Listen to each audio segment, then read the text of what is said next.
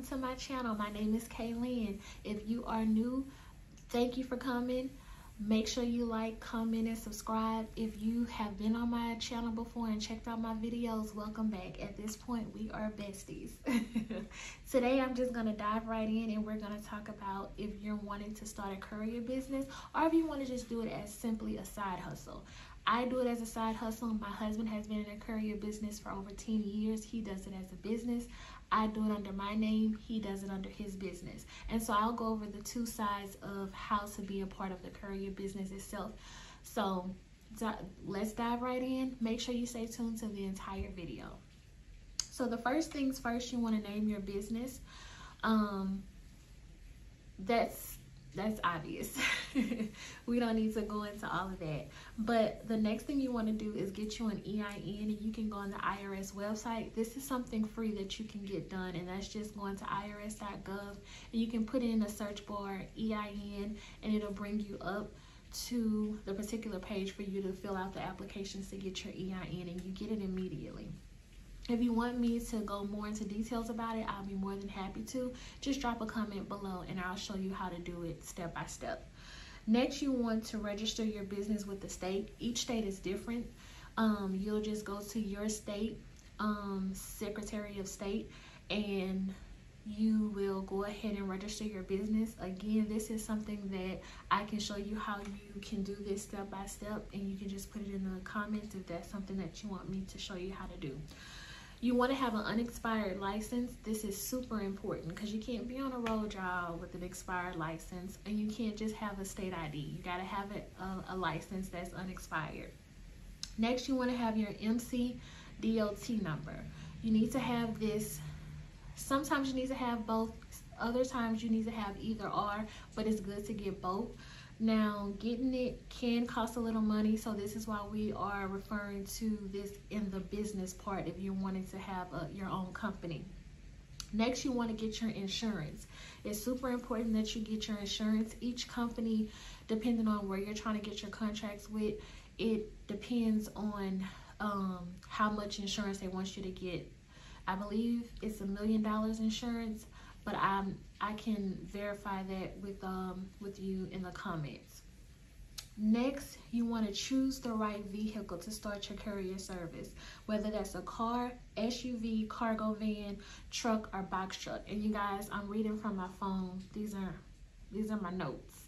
So that's what I'm looking down at. I get super clustered in my mind and I forget a lot of things. So I have to make sure that I'm reading it.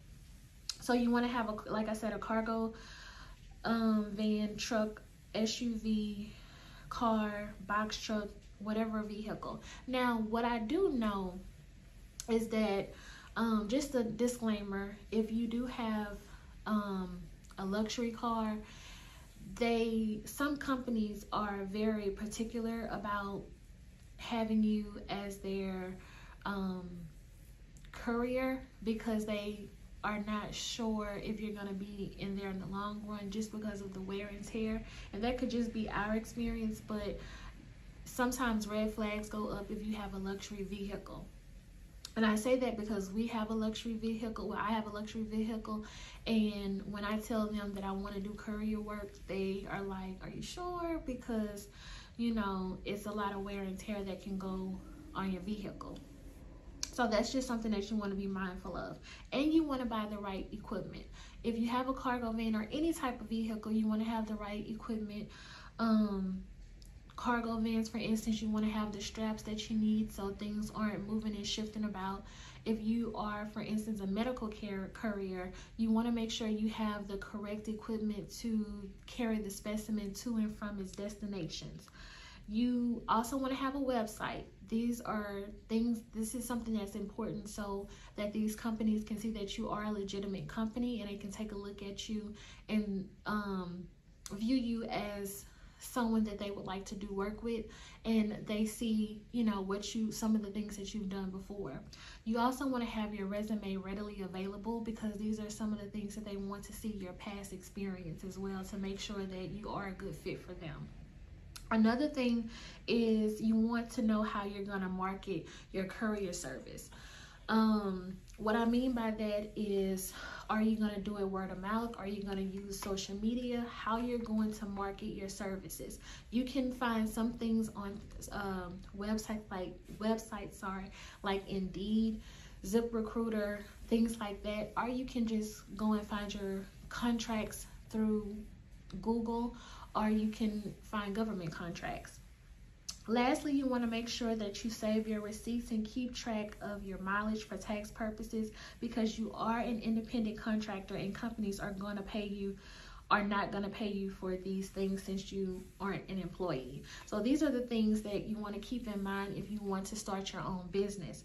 Now, some of these things apply if you also want to be an independent contractor, but there are less requirements when it comes to independent contractors. Well, it's like a give and take because you kind of get to set your own rules when you have your own company, but it's a little different when you are a courier, independent contractor, doing it as a side gig.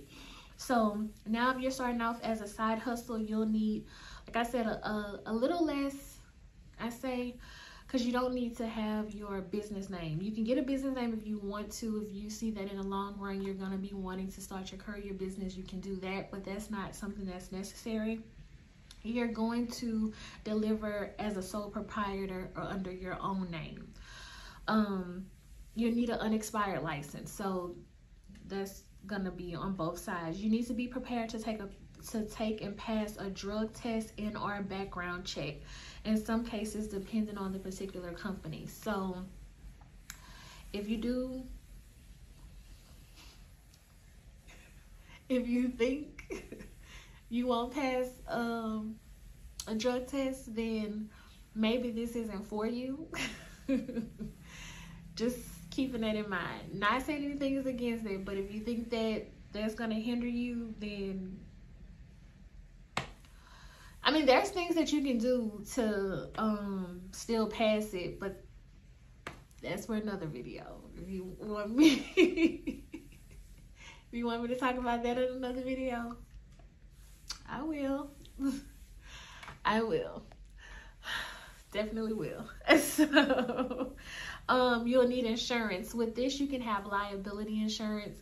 Um, another thing is you still want to choose the right vehicle some um, courier services even let you use scooters and bikes. So that's something. If you don't have a vehicle, you can use either a scooter or a bike. A lot of people don't talk about that, but you can.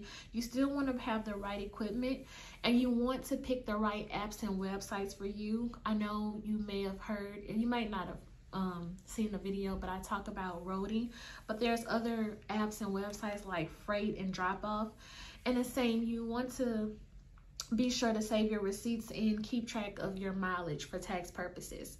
But that is all of the information as of now that I'm going to provide. I don't want to make this video too long.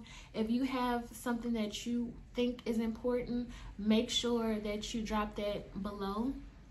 Um, and again, make sure you subscribe to this video and like it. I'm going to be doing more videos. So tell me what you would like to hear. Tell me what you want me to talk about, review, whatever you guys want, I'm here to do. So just keep that in mind. But until next time, thank you for tuning into my video.